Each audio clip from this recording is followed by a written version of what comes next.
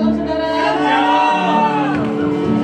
Berdoa dulu untuk memulai ibadah kita. Saya undang saudara untuk bangkit berdiri. Terima kasih Tuhan Yesus, terima kasih Bapa kami mau mengucap syukur Tuhan atas berkat pertolongan yang Kau berikan kepada kami pada saat minggu ini Tuhan. Kami mengucap syukur Tuhan sehingga kami ada hari ini Tuhan. Kami sehat-sehat di sini Tuhan Yesus. Kami mengucap syukur semua berkat dan anugerah Bapak. Bapak kami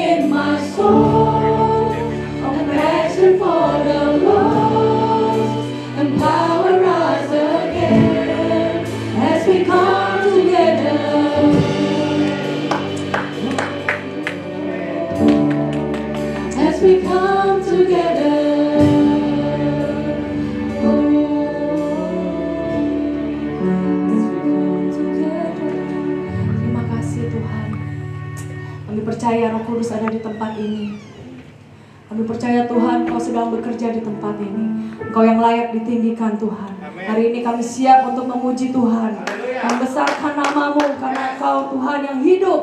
Terima kasih Tuhan. Haleluya. Siap memuji Tuhan? Saya mau mengucapkan selamat datang buat adik-adik saya.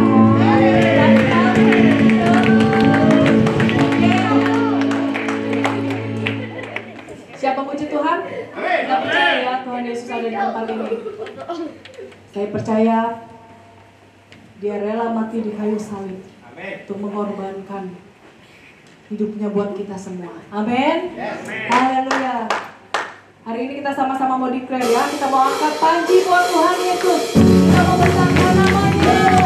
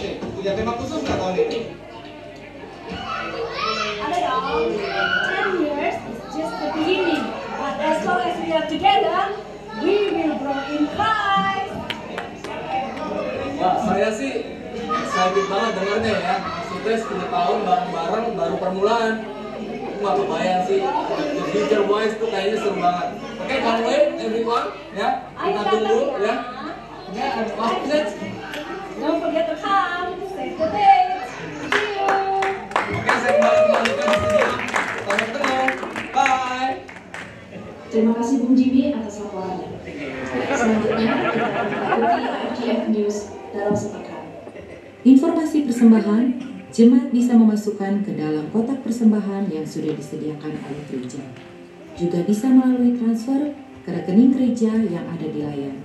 Untuk informasi lebih lanjut, kunjungi website www.ifgwellington.org. iCare minggu ini akan diadakan sebagai berikut. iCare Tirsa hari Kamis jam 6. iCare Bilhan Jimmy Risha hari Jumat jam 6.30. Untuk informasi mengenai lokasi iCare, bisa langsung hubungi iCare leader masing-masing. Bagi yang rindu untuk bergabung di dalam iCare, silakan menghubungi Tirsa. Shalom saudara, IGF London is celebrating our 10th birthday anniversary on Sunday the 20th of June. The address is at 61 Popper Street, Mount and we will start at 4.30 p.m. The theme for this year is Together in Christ, we will grow. So please come and join us. Bring your friends and family, and we will see you there. And if you can, please also bring a potluck dessert. Thank you, and we will look forward to your precious presence on this special occasion of IFGF Wellington.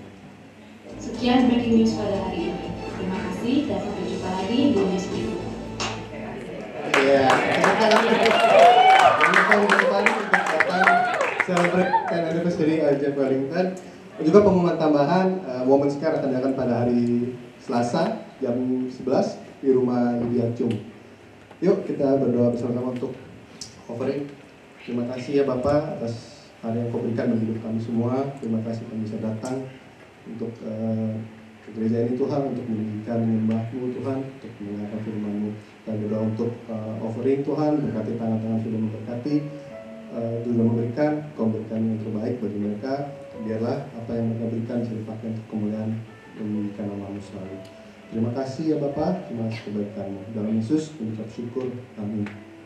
Ya, saya kita berdoa Bapak kita berdoa Bapak kami mungkin boleh berdiri sama-sama Bapa kami yang di sorga, dikuduskanlah namamu, datanglah kerajaanmu, jadilah kehendakmu di bumi seperti di surga. Berikanlah kami pada hari ini makanan kami yang secukupnya, dan ampunilah kami akan kesalahan kami. Seperti kami juga mengampuni orang yang salah pada kami.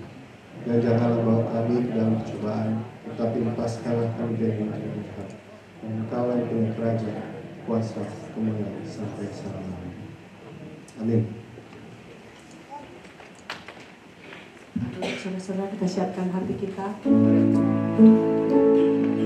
2, 2 Timotius 2 ayat 13 berkata, jika kita tidak setia, jika kita tidak setia, dia tetap setia karena dia tidak dapat menyangkal diri.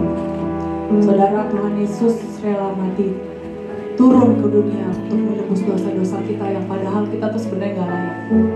Dia yang melayakkan kita untuk kita dibenarkan karena darah Yesus. Tuhan itu Tuhan yang setia. Di sini banyak anak-anak muda ya. Kalau kita berhubungan dengan punya pacar, putus ada kata mantan. Apalagi sekarang ada zaman Instagram. Selama masih pacaran, masuk semua foto-fotonya berdua. Tapi kalau udah mantan, dihapus supaya nggak ada jejak. Betul nggak? Yang mudah-mudah dihapus supaya nggak jejak. Kalau bisa gue nggak perlu gitu. Hei, tapi Tuhan, Bapa yang sangat baik. Setiap orang pernah gagal, banyak gagal, gagal dalam bekerja, dalam belajar, bahkan gagal untuk melakukan dalam kebenaran. Gagal nih gue untuk bertobat, gagal nih gue mau sabar tapi dia jadi marah-marah lagi. Gagal nih saya Tuhan, padahal gue mau hidup kudus, tapi aku begini lagi. Tapi Tuhan Yesus tuh Bapak yang baik.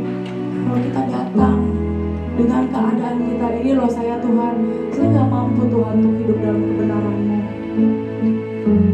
Tapi saya percaya Tuhan Yesus bilang datang kepadaku, aku yang memberikan kemampuan untuk kamu hidup berjalan dalam kebenaran.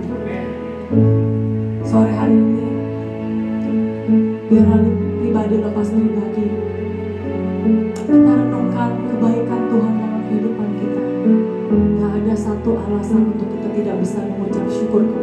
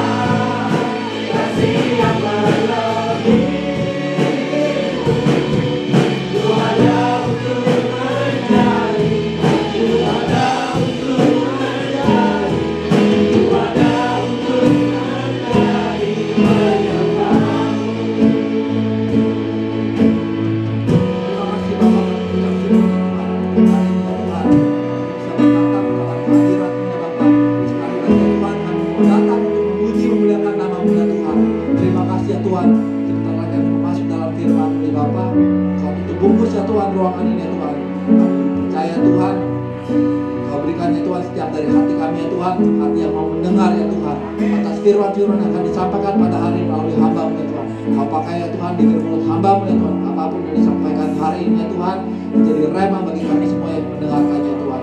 Firman ini bagaikan pedang bermata dua yang menusuk setiap hati kami ya Tuhan. Sehingga kami keluar dari tempat ini tidak sama lagi Bapak. Terima kasih ya Tuhan. Kami mau serahkan acara ini ke dalam tanganmu. Di kami pray. Haleluya. Amin. Silakan duduk. Kita kasih tepuk tangan untuk tim worship dulu.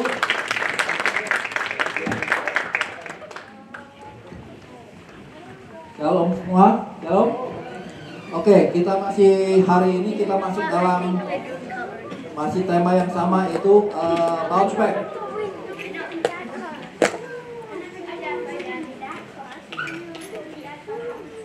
Pada hari ini kita masih uh, tema bounce back itu uh, temanya adalah get deeper. Hari ini uh, judul yang saya mau bawakan adalah the deadline. Ya. Katakan ke kanan kiri deadline. Oke, kita baca sama-sama dari 1 Petrus 4 ayat 7 sampai 11 dikatakan uh, kita baca sama-sama ya 1 2 3. Kesudahan segala sesuatu sudah dekat. Karena itu kuasailah dirimu dan jadilah tenang supaya kamu dapat berdoa. Tetapi yang terutama kasihilah sungguh-sungguh seorang akan yang lain sebab kasih menutupi banyak sekali dosa. Berilah tumpangan seorang akan yang lain dengan tidak bersungut-sungut. Layanilah seorang akan yang lain sesuai dengan karunia yang telah diperoleh tiap-tiap orang sebagai pengurus yang baik dari kasih karunia Allah. Jika ada orang yang berbicara, baiklah ia berbicara sebagai orang yang menyampaikan firman Allah. Jika ada orang yang melayani, baiklah ia melakukannya dengan kekuatan yang dianugerahkan Allah, supaya Allah dimuliakan dalam segala sesuatu karena Yesus Kristus. Dialah yang mempunyai kemuliaan dan kuasa sampai selama-lamanya. Amin. Oke, pada hari ini kita mempunyai tiga poin. Poin yang pertama adalah be alert. Ya kan dikatakan be alert and sober mind. Dikatakan kesudahan segala sesuatu sudah dekat. Karena itu kuasailah dirimu dan jadilah tenang supaya kamu dapat berdoa. The end of all things is near. Therefore be alert and of sober mind so that you may pray. Siapa yang di sini yang uh, orangnya yang biasa uh, last minute person gitu? Hah? Last minute person, yes, I know. Orang yang uh, wait uh, apa kerjanya wait, there is always tomorrow. Aku dulu waktu uh, di college pernah ketemu apa teman grup project ya orang Meksiko. Wah kesel banget kalau grup project sama dia kan. Ayo kita kumpul kerja. Ah, siempre hasta mañana. There's always tomorrow, there's always tomorrow. Jadinya kita menunggu dan menunggu akhirnya at the last minute proyek kita berantakan, ya kan? Mau kerjain wah akhirnya hasilnya tidak memuaskan. Saya katakan setiap everything pasti ada deadline. Semua pasti ada deadline. Kalau kalian yang sekolah PR pasti ada deadline, benar? Harus kumpulinnya ada waktunya. Kemudian yang eh, kerja juga ada deadline, namanya project ada yang namanya deadline. Kapan go live? Kapan go live, ya kan?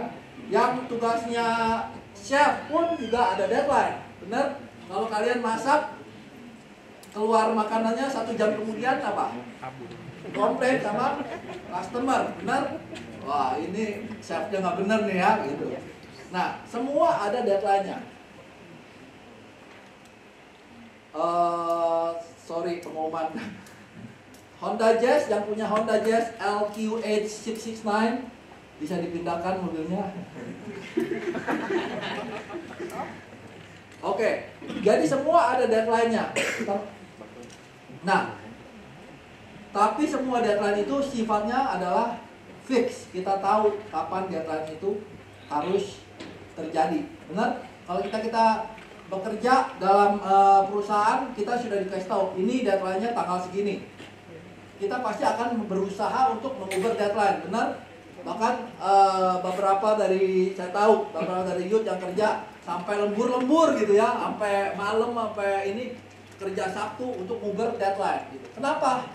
Kenapa kalau kita nggak boleh melewati deadline?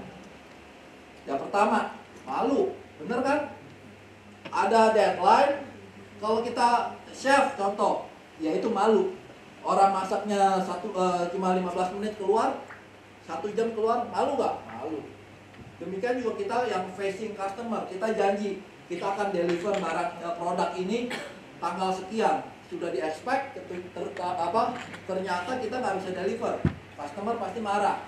Sedangkan kita juga malu ya kan? Sebagai employee juga kita sama. Manajer kita expect kamu harus selesai sekian tapi kita nggak bisa deliver. Tentunya kita mendapat kita yang malu kemudian mendapat bad performance review.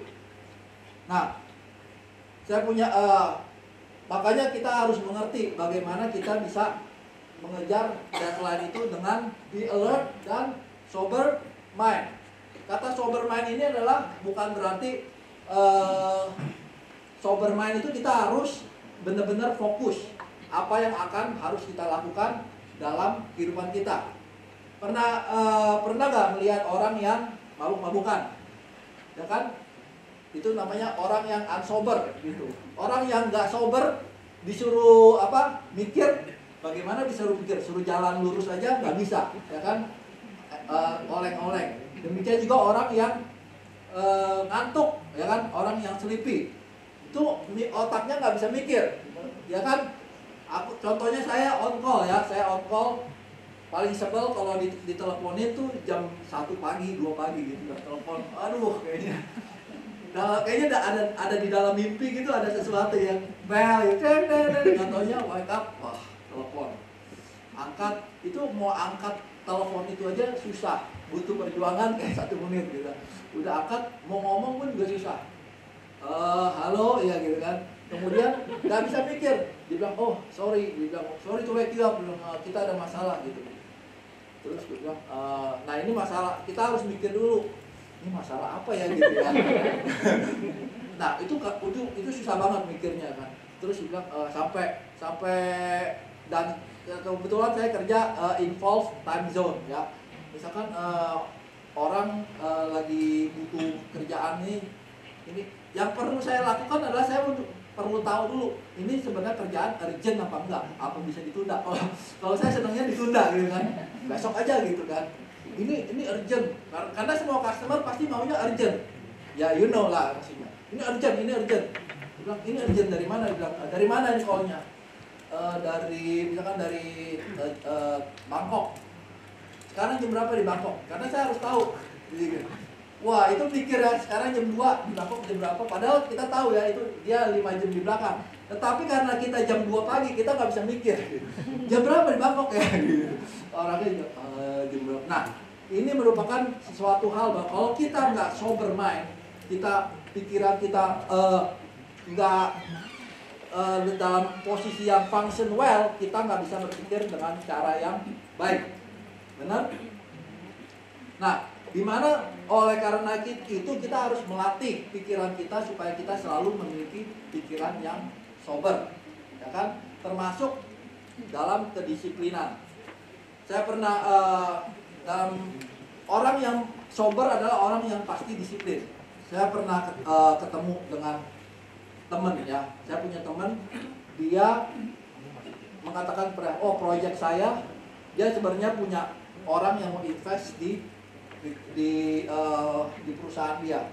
Kemudian tiba-tiba the last minute dia di cancel dia bilang kenapa? Terus dia bilang aduh buat sebenarnya harusnya udah taken kontrak dengan orang itu tiba-tiba di cancel dia bilang kenapa karena eh gua karena gue cuma telat 15 menit. Dia bilang gitu kenapa lu 15 menit ya karena gue gua memiliki banyak pekerjaan gua nggak bisa handle akhirnya eh, mau nggak mau gue jadi telat 15 menit. Gitu dia bilang gitu. Padahal gue cuma telat 15 menit. Sebelumnya gue telat satu jam. Dia nggak kenapa-napa dia bilang gitu kan. Terus gue terus ya dia bilang, ya orang itu jelas aja berhak untuk meng-cancel kontrak. Dan kalau lu kerjanya telat satu jam telat 15 menit tentunya dia memiliki pikiran bahwa how you can, if you cannot manage your time how can you manage your project? Ya kan? How can you deliver on time kalau you cannot even deliver something simple? Kayak gini. Makanya penting buat kita adalah to stay alert to stay sober to stay no focus on what's going on. Makanya di sini kita juga me- melatih terus bahwa hey kita semua harus stay sober. Dalam hal banyak hal misalkan dalam latihan ownership kita bilang datang jam 2 we expect. Karena itu untuk disiplin. Karena kalau kamu nggak disiplin in one thing how can you be disciplined in other stuff? Oke? Hal-hal yang seperti normal yang kalau kita nggak bisa disiplin bagaimana kita disiplin dalam hal-hal yang sifatnya tidak eh, yang tidak kelihatan. Dikatakan apalagi in prayers gitu kalau kita nggak bisa disiplin in uh, stuff like appointment and stuff, how can we be disciplined in prayer to God? Seringkali kita berkata, I, don't, I need more time, gitu. I need more time, gitu ya. Dikatakan, you don't need more time, but you need more discipline. Semua orang memiliki time yang sama. Satu orang dikasih 24 jam, ya kan? Anda saya sama, semua 24 jam. It's how you discipline your time apa yang harus saya lakukan hari ini stay fokus, stay sober. Makanya kita di, dikatakan di sini Peter berkata, be alert and sober mind. Sesuatu hal yang sifat eh, apa? Meskipun eh, simple tapi itu harus yang harus kita lakukan. Penting. Mengapa dia mengatakan terus be alert and sober mind? karena kita harus memiliki yang namanya self control. Kalau kita nggak bisa self uh, control diri kita, hidup kita pasti berantakan. Benar? Kita harus tahu apa yang harus kita lakukan setiap hari di dalam kehidupan kita. Kalau enggak, ya itu kita hidup kita berantakan. Hari ini ngapain ya? Nggak tahu. Demikian juga dalam kehidupan spiritual kita. Apakah kita self control or not? Peter kita lihat eh, Peter ya. Pada waktu dia malam eh, perjamuan kudus dia bersama-sama dengan Tuhan Yesus. Kemudian Tuhan Yesus berkata kepada murid-muridnya dia bilang sebentar lagi eh, aku akan eh, mati dan kalian itu akan tercerai-berai katakan pada murid-muridnya. Kemudian eh, Petrus bilang semua orang di sini boleh eh, meninggalkan kau tetapi Aku bilang, aku tidak akan meninggalkan kau, kata Petrus gitu kan. Kemudian Yesus bilang kepada kepada eh, Petrus, no, you are wrong. Kamu akan menyangkal aku tiga kali, dia bilang, ya kan? Kamu akan menyangkal aku tiga kali. Kemudian Petrus pun bilang eh, di sini Petrus bilang, "Eh, biarpun semua orang tergoncang imannya karena engkau aku sekali-sekali tidak. Kemudian Yesus berkata kepadanya, Aku berkata kepadamu sesungguhnya malam ini juga sebelum ayam berkokok engkau telah menyangkal aku tiga kali. Kata Petrus kepadanya, sekalipun aku harus mati bersama-sama engkau, aku tidak akan menyangkal engkau. Semua murid yang lain pun berkata demikian juga. Mereka saat itu memiliki sesuatu kepastian, sober. Waktu itu malam itu masih sober, ya kan? Masih wah, habis makan. Kemudian apa? Setelah itu Yesus pergi ke taman Getsemani di mana dia membawa hanya tiga orang, Yakobus, Petrus, dan Yohanes. Dia katakan kepada berjaga-jagalah, stay awake and alert. I'm going to pray. Kemudian karena sudah malam mereka tidur. Ya kan? Berapa kali Yesus harus menyampai eh, samperin mereka untuk membangunkan mereka? Tiga kali dia bilang. Hey, can you just stay awake gitu. Yesus sampai tiga kali bilang, stay awake and be sober. Mereka bilang, ah udah udah ketiduran. Apa yang terjadi berikutnya? Kemudian prajurit datang. Prajurit datang eh, kemudian menangkap Yesus. Nah, pada saat itu Petrus kemudian menjadi pikirannya sober gak? Enggak, karena udah udah tidur, atau prajurit datang sampai dia harus menghunus eh, apa pedangnya, eh, memotong kuping salah satu prajurit, eh, servant of the eh, eh, Sanhedrin itu, dan kemudian ketika Yesus ditangkap, semuanya sudah berlangsung seperti chaos dan dia cannot have self control. Basically semua orang menuduh dia, kamu eh, apa muridnya? Bukan, bukan, bukan, bukan, bukan, bukan, bukan sampai tiga kali akhirnya dia menyangkal Yesus.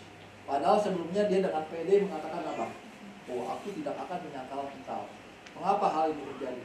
Karena saat itu dia tidak memiliki sober mind.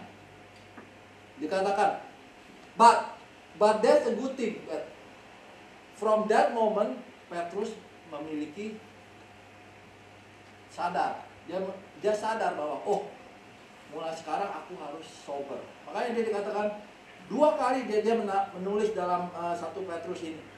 Be sober and watch. Dikatakan sekali lagi dah di ayat 1 Petrus 5 ayat 8. Sadarlah dan berjaga-jagalah.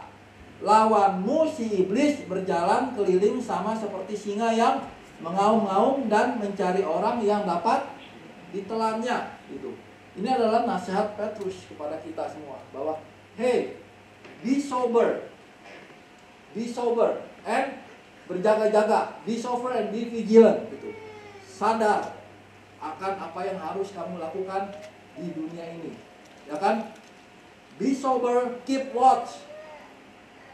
Kemarin kita di di Men's kita belajar mengenai spiritual blindness di mana eh, eh, kita merasa kita bisa melihat eh, Yesus menyembuhkan orang buta tetapi kebanyakan orang spirit memiliki spiritual blindness. Demikian juga dalam sharing saya eh, minggu lalu banyak dari kita memiliki spiritual sickness, orang lumpuh, orang buta, kita memiliki spiritual sickness. Demikian juga hari di sini kita memiliki yang namanya spiritual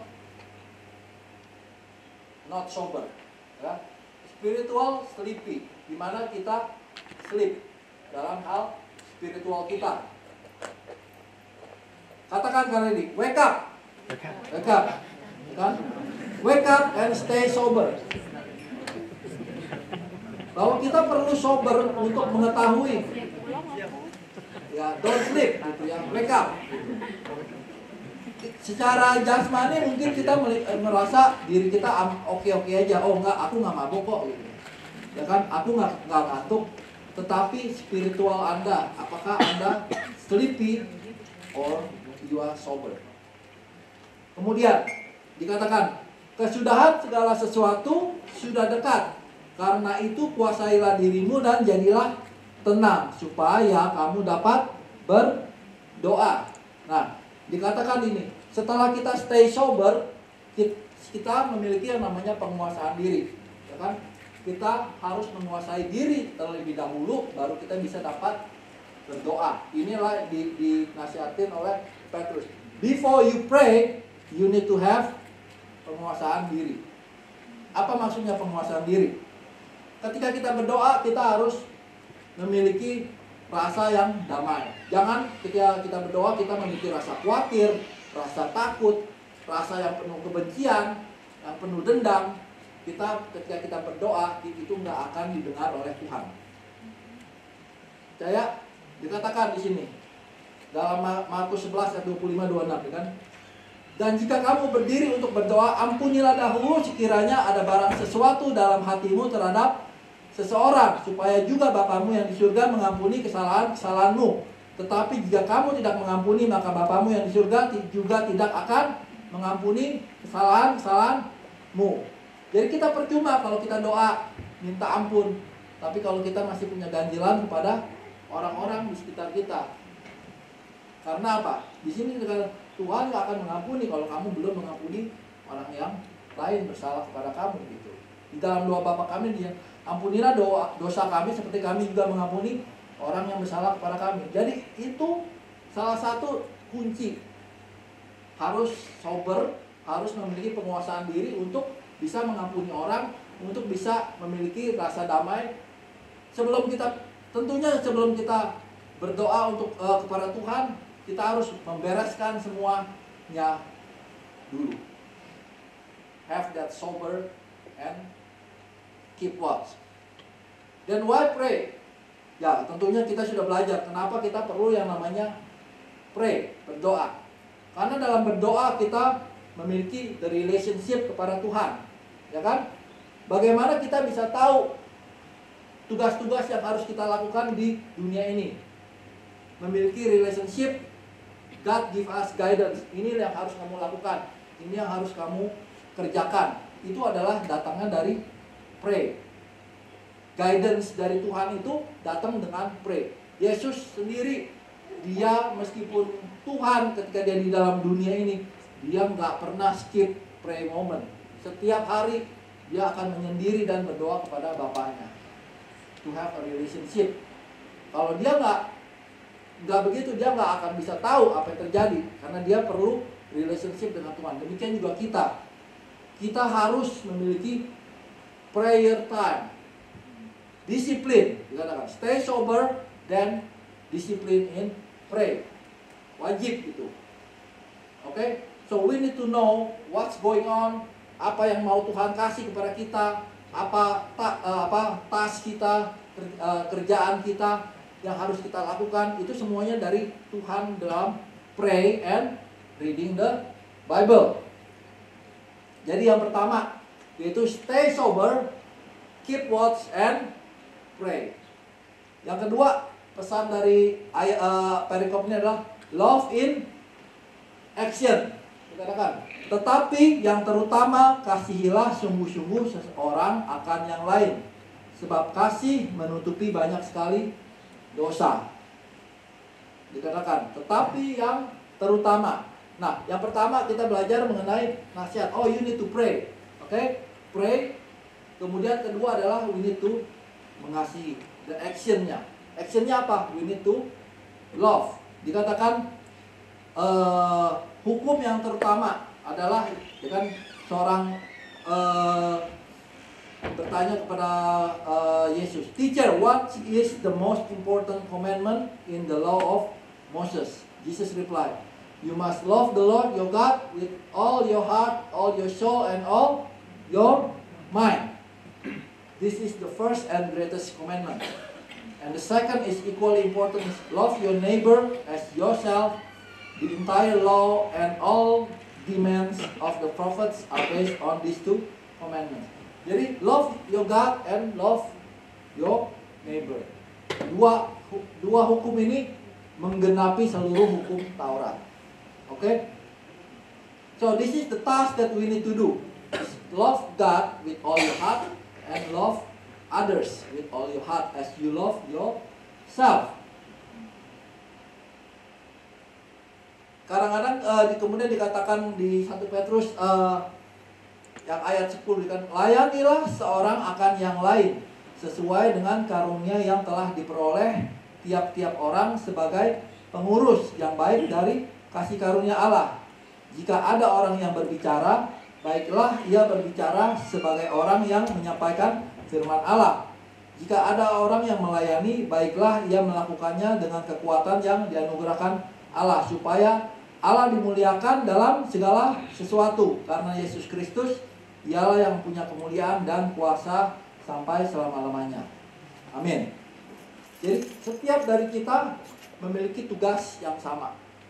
Tetapi secara general tugasnya adalah love God and love others. Itu secara big picture-nya. Cuma setiap dari kita memiliki individual assignment. Oke? Okay? What is your assignment? What is my assignment is different. Tetapi dikatakan di sini, dikatakan ini, setiap dari kita diberikan karunia masing-masing. Apa yang karunia yang kamu miliki berbeda dengan apa yang saya miliki. Enggak semua orang akan memiliki karunia untuk speaking, sharing. Ada karunia untuk melayani, ada karunia untuk bernyanyi, sebagainya. Jadi yang bisa sharing ya sharing. Yang bisa mendoakan ya mendoakan. Yang punya hati melayani sesama seperti besuk ya besuk. Ya kan? Yang punya hati bawa jiwa ya bawa jiwa gitu. Setiap dari kita harus melakukan sesuatu untuk kemuliaan Tuhan. Ya, dikatakan di sini. Semuanya itu harus kamu lakukan untuk kemuliaan nama Tuhan. Jadi we need to do something for glorify God. Jangan spiritually sleep. Jangan tidur gitu. Wake up, ya kan? You have to do something. Apa yang harus kalian lakukan? Ya itu yang harus kalian pikirkan. Apa gitu? Untuk kemuliaan Tuhan. Jangan menganggap bahwa pekerjaan yang kalian itu sia-sia. Karena setiap dari kita akan eh, pekerjaan yang kita lakukan itu pasti ada hasilnya. Dikatakan, karena itu saudara-saudaraku yang kekasih, berdirilah teguh, jangan goyah. Dan giatlah selalu dalam pekerjaan Tuhan. Sebab kamu tahu bahwa dalam persekutuan dengan Tuhan, jeripayamu tidak sia-sia. Nothing you do for the Lord is ever useless. Jadi pekerjaan sekecil apa pun yang kalian lakukan, itu nggak pernah sia-sia di dalam Tuhan. Selama itu memuliakan nama Tuhan. Semua itu dicatat, ya kan? Semua itu dicatat. Jadi jangan berpikir, ah saya nggak sehebat uh, Pastor Syaman, jadi saya nggak usah lakukan apa-apa. No, every one of you have your own task to do. Oke? Okay? Yang terakhir, poin yang terakhir adalah the end is near. Dikatakan, the end is near. Kesudahan segala sesuatu sudah dekat. Karena itu kuasailah dirimu dan jadilah tenang supaya kamu dapat berdoa. The end of all things is near. Therefore be alert and sober mind so that you can pray. Kalau tadi di awal kita sudah belajar yang namanya deadline. Benar? Setiap sesuatu ada deadline-nya. Dalam hal masak, dalam pekerjaan, dalam sekolah ada deadline. Demikian juga dalam kehidupan kita. Spiritual life ada deadline-nya. Pertama, deadline-nya adalah apa? Siapa yang tahu kapan? Nah, berbeda. Nah, perbedaannya adalah deadline-nya yang spiritual ini kita nggak tahu. Kita cuma tahu ada deadline, tapi kita nggak tahu kapan deadline-nya. Siapa yang di sini tahu kapan kalian akan mati? Itu satu deadline, ya kan? Selama kita masih hidup, kita masih memiliki hal untuk kita kerjakan. Apa pun yang harus kita kerjakan, kita harus kerjakan sekarang, bukan nanti pada saat kita sudah meninggal. Benar? Siapa yang tahu umur kalian sampai umur berapa? Ada yang bisa tebak? Ada yang matinya muda, 40, 50. Jangan anggap kamu masih muda, bilang, oh saya bisa masih ada punya 5 tahun, 10 tahun. Belum tentu. So that is your deadline. But the thing is, you don't know when is your deadline. Bayangkan kalau kita bekerja aja punya deadline yang kita tahu aja sering miss. Gimana kita bekerja dengan deadline yang kita nggak pernah tahu?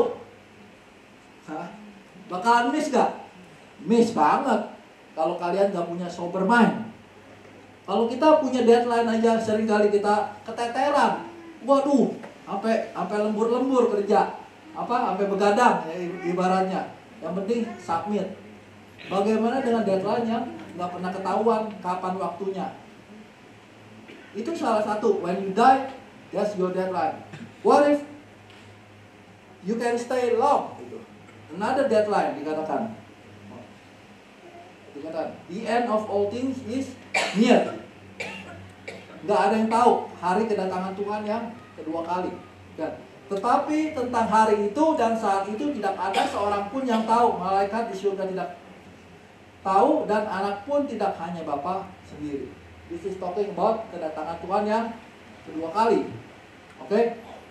Dikatakan, karena kamu sendiri tahu benar-benar bahwa hari Tuhan datang seperti pencuri pada malam.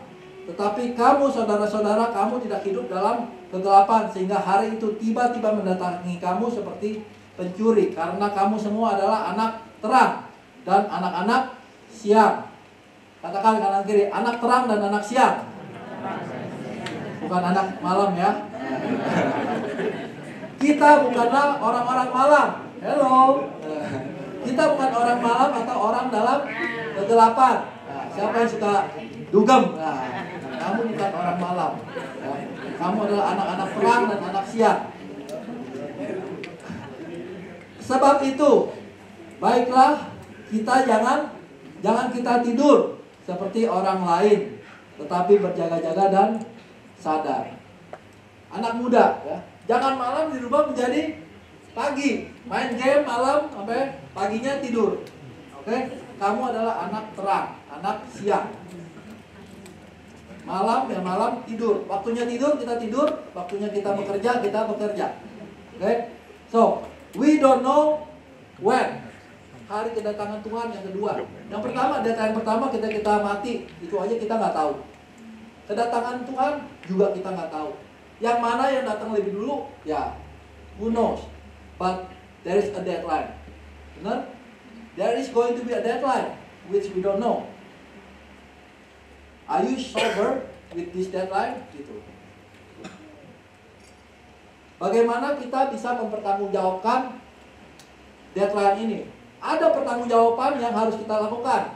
Dikatakan di 1 Yohanes, dikatakan, Dear children, let's not merely say that we love each other, let us show the truth by our actions. Our actions will show that we belong to the truth. So we will be confident when we stand before God. Even if we feel guilty, God is greater than our feelings and He knows everything. Dear friends, if we don't feel guilty, we can come to God with bold confidence. Saya katakan tadi kan, kalau kamu deadline-nya bisa berhasil, apa? Ketika ada deadline kamu berhasil submit your project on time, kamu merasa malu gak? Enggak. Oh, saya saya bisa selesai. Bahkan kalau saya bisa submit earlier, wah, tentunya bos apa manajer kalian juga bangga. Wih, hebat nih ya. Tapi kalau kita submitnya telat, kita udah diomelin customer, kita merasa malu nggak? Malu. You fail gitu. Apa yang you promise to me, you cannot deliver. Demikian juga dalam kehidupan kita. Jangan kita anggap main-main kehidupan spiritual kita. You have a deadline and you have a task and a responsible to do. Dikatakan, Sebab kita semua harus menghadap tahta pengadilan, pengadilan Kristus supaya setiap orang memperoleh apa yang patut diterimanya sesuai dengan apa yang dilakukannya dalam hidupnya ini. Baik ataupun jahat. Dikatakan berikutnya, maka sekarang anak-anakku tinggallah di dalam Kristus supaya apabila ia menyatakan dirinya, kita beroleh keberanian percaya dan tidak usah malu terhadap dia pada hari kedatangannya. Apakah kamu sekarang siap menghadap Tuhan gitu ditanya, apa yang kamu lakukan di dunia ini? Apa yang mau kalian eh, kalian bicara? Apa malu apa enggak? Nah itu pikirkan sendiri. Are you going to be ashamed when God come? Ketika deadline itu tiba-tiba datang, apakah kamu memiliki keberanian, percaya dan tidak malu menghadap Tuhan? Kalau kamu nggak melakukan apa-apa, tentunya apa? Malu? Pasti. Tapi kalau kamu melakukan, ya kita harus memiliki keberanian bahwa ya meskipun kita nggak perfect, but no, God knows our heart. God knows your heart. Apa pun yang kalian lakukan, kalau itu tujuannya untuk memuliakan Tuhan, sedikit demi sedikit pun kita nyicil, God will know. Dan itu adalah sesuatu hal yang kamu bisa talk to God. Bilang, Tuhan aku melakukan ini loh, aku melakukan ini loh. In the end memang Tuhan yang akan menjudge. Tetapi kita punya setidaknya something to say. Ketika kita bekerja, kita dipercaya, kenapa ini fail gitu. Tentu kita punya alasan. Oh, teman gua itu ke, ke drag tuh sama ini gitu, ya kan? Kita punya pembelaan. Kalau kita benar-benar ya. Tapi kalau kita datangnya telat, dan apa kerjanya nggak beres, pembelaan apa yang harus kita eh, kasih? Nothing. Malu. Oke, so pikirkan ini bahwa kita punya deadline yang nggak pernah kelihatan. Tetapi ada deadline ini. Jangan anggap ini deadline nggak ada. Ada deadline ini dan pikirkan apa yang kalian harus kerjakan gitu untuk supaya ketika ketemu Tuhan nanti tidak malu.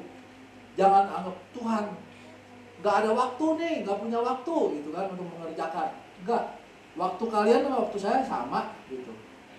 But we need a better discipline. Fokusnya ke mana, ya kan? Eh, saya panggil tim untuk maju. Fokus kita ke mana? Apakah kita fokus kepada hal-hal yang duniawi atau kita fokus dengan hal-hal yang sifatnya spirituali? Karena itu adalah merupakan pertanggungjawaban kita nanti di akhir. Keselamatan itu adalah sesuatu hal yang is the beginning. Jangan kita menganggap bahwa kita sudah percaya, kita sudah selamat. That's it, we done. Enggak. Selamatan adalah sesuatu yang sifatnya the beginning. Ketika kamu selamat, itu adalah sesuatu yang harus kamu kemudian menunjukkan. Kita bukan kita mendapat keselamatan dengan faith, dengan hal yang mudah, dengan hanya belief kita dapat.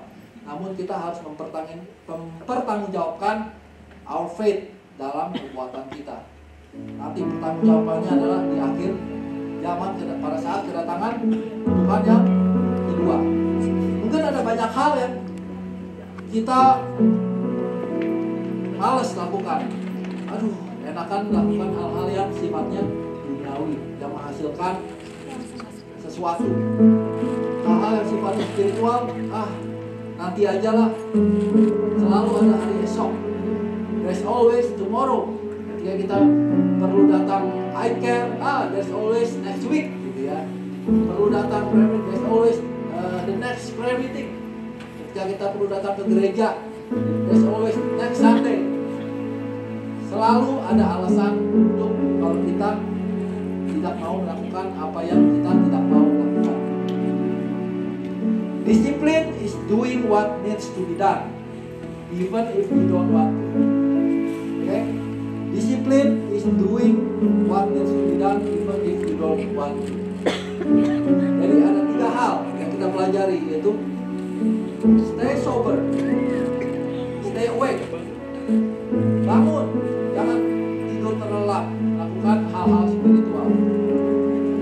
Then show your action, show it, and be brave, be bold, in, and have confidence when you bertemu dengan Tuhan. Apa yang kalian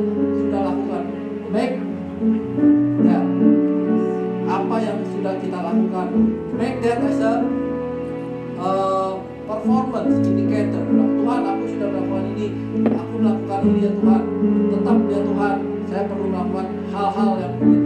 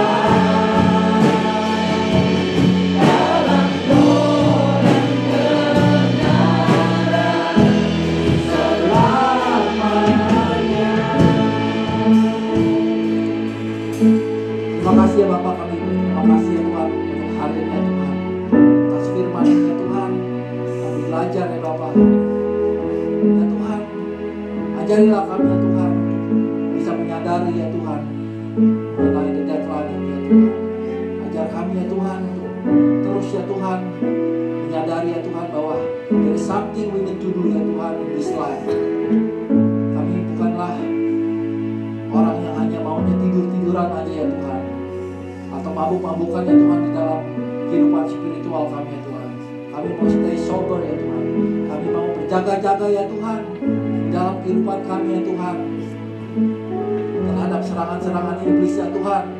Kami mau berjaga-jaga ya Tuhan. Ya Bapak ajar kami ya Tuhan untuk selalu mau ya Tuhan melakukan perintah-perintahmu ya Tuhan. Melakukan firmanmu ya Tuhan. Segalanya untuk segala kemuliaan namamu ya Bapak terima kasih ya Tuhan. Jika engkau mendengarkan dengan setia apa yang disampaikan pada hari dan melakukan dengan setia, maka Tuhan akan mengangkat engkau mengatasi segala bangsa di bawah bumi. Diberkatilah engkau pada waktu masuk dan diberkatilah engkau pada waktu keluar. Tuhan akan memberikan berkat ke atasmu, yakni di atas lubukmu, di dalam segala studimu, segala usahamu, dan segala pekerjaanmu. Kau akan selalu naik dan bukan turun. Kau akan selalu menjadi kepala dan bukan ekor. Diberkatilah keluargamu serta hubunganmu dengan mereka. Rumahmu selalu dipenuhi dengan sukacita, kekudusan, iman, pengharapan, dan kasih. Kuasa Roh Kudus akan menyertai kau sekarang dan selama-lamanya. Terima kasih Bapak kami ucap syukur hari ini kami bisa belajar ya Tuhan banyak mengenai deadline. Terima kasih Tuhan kami berdoa untuk negara New Zealand ini Tuhan, terutama untuk kota Wellington ya Tuhan kami di mana kami berada ya Tuhan. Ya Bapak kami berdoa ya Tuhan, kau berikan terus hikmat ya Tuhan untuk segala pemimpin yang ada di negara ini ya Tuhan. Mulai dari Perdana Menteri sampai yang paling bawah ya Tuhan. Berikanlah roh hikmat ya Tuhan agar mereka dapat mengambil keputusan yang menyenangkan Engkau ya Tuhan kami berdoa ya Tuhan gereja-gereja yang ada di negara ini Tuhan Kau bangkitkan mereka biar mereka semua bisa bangun ya Tuhan dari spiritual sleeping ya Tuhan. Ajar kami semua ya Tuhan sober ya Tuhan tetap keep watch ya Tuhan atas serangan-serangan iblis ya Bapak terima kasih ya Tuhan kami juga berdoa untuk negara Indonesia ya Tuhan.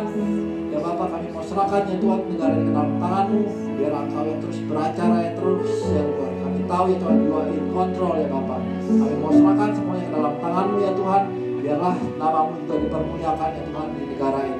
Terima kasih ya Tuhan. Kami mau sebentar mau fellowship ya Tuhan. Kau berkati uh, fellowship kami ya Tuhan. Kami berdoa untuk makanan yang kami akan makan ya Tuhan.